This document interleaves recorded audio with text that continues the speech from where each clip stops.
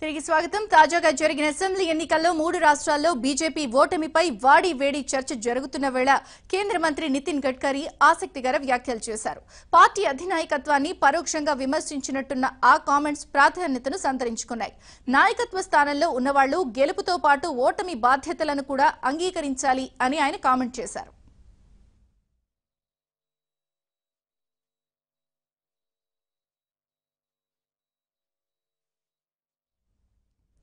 శనివారం పూణేలో జరిగిన ఓ కార్యక్రమంలో మాట్లాడిన గడ్కరీ బ్యాంకింగ్ రంగంలో సక్సెస్ ఫెయిల్యూర్ రెండూ ఉంటాయని చెప్పారు కొన్నిసార్లు సక్సెస్ వస్తే మరికొన్నిసార్లు ఫెయిల్యూర్ ఎదురవుతుంది అన్నారు బ్యాంకింగ్ రంగంలాగే పాలిటిక్స్ లోనూ సక్సెస్ ఫెయిల్యూర్ ఉంటాయన్నారు రాజకీయాల్లో ఓటమి చవి చూసినప్పుడు కమిటీలు వేస్తారని కానీ గెలిచినప్పుడు మాత్రం ఎవరూ వచ్చి కారణాలు అడగరని అభిప్రాయపడ్డారు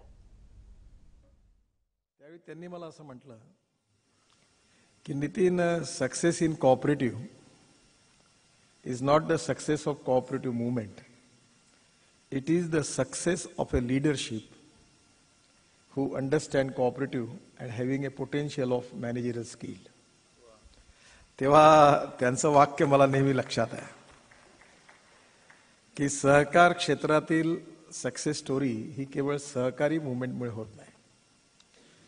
पण सहकार क्षेत्रातल्या प्रत्येक संस्थेमध्ये एक इंजिन असतं. आणि जिथे जास्त इंजिन येतात तिथे गडबड होते.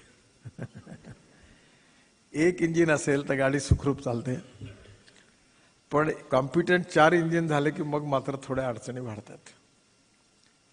त्यामुळे त्या त्याच्या नेतृत्वावर विश्वास ठेवून त्याची विश्वसनीयता त्याचा प्रामाणिकपणा त्याचं मॅनेजर स्किल त्यांची विजन चिकाटी जिद्द परिश्रमशीलता याच्या आधारावर ती संस्था पुढे जात असते. అంతేకాదు ఏ రాష్ట్రంలో అయినా ఎన్నికల్లో అభ్యర్థులు ఓడిపోతే తమకు పైనుంచి సరైన మద్దతు లభించలేదు అన్నట్టు ఆరోపిస్తారని గుర్తు చేశారు. అయితే పార్టీ లోపాల వల్లనో లేక ప్రజల్లో నమ్మకాన్ని కలిగించడంలో అభ్యర్థి విఫలమవడం వల్లనో ఓటమి ఎదురవుతుందన్నారు.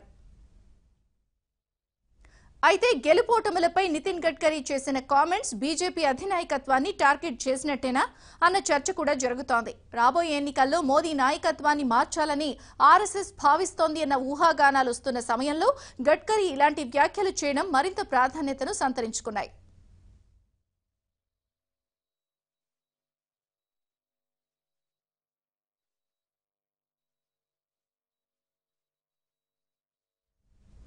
ఇక వచ్చే లోక్సభ ఎన్నికల్లో బీహార్లో కలిసి